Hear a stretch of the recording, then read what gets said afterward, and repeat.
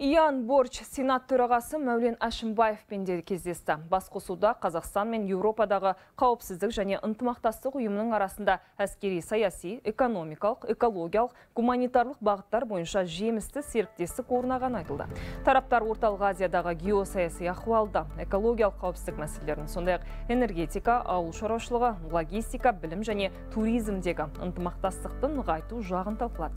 Иян Борч Қасым Жомарт Тоқаевтың басшылығымен Қазақстан жүзеге асырылып жатқан ауқымды саяси және экономикалық өзгерістерге оң бағасын берді.